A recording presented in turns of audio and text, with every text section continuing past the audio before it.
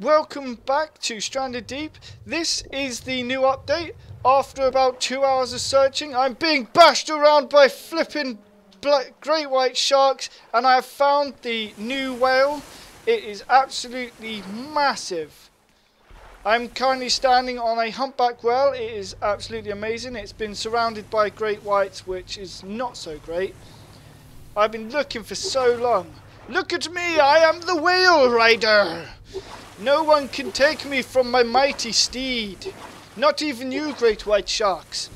It's taken me so long to get here. I have, what, what was that?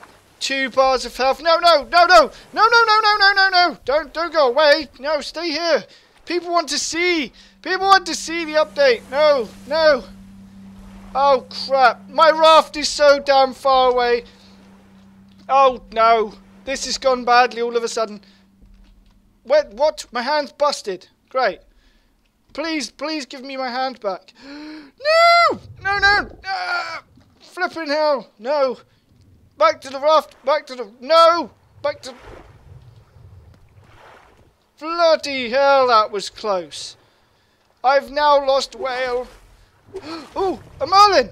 No! My bloody raft again! Wow. You make one hell of a loud noise. I am the whale rider.